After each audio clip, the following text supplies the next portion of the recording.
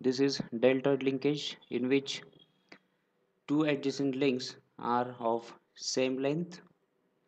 Deltoid linkage is Grashofian special class linkage.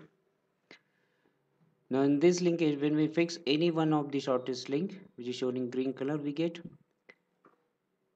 double crank inversion. And when we fix any one of the longest link shown in pink color any one of this link we get crank rocker inversion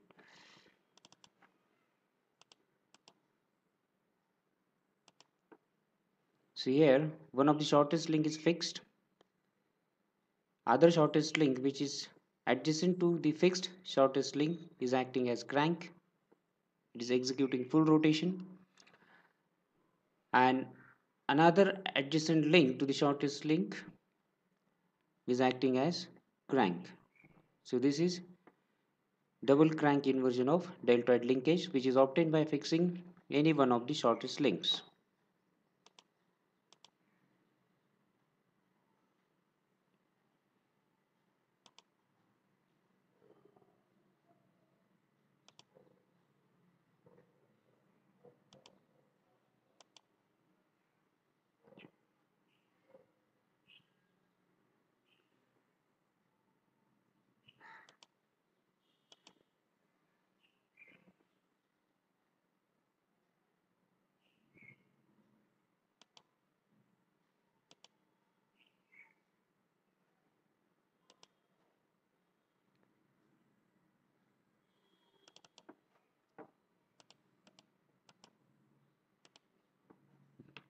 This is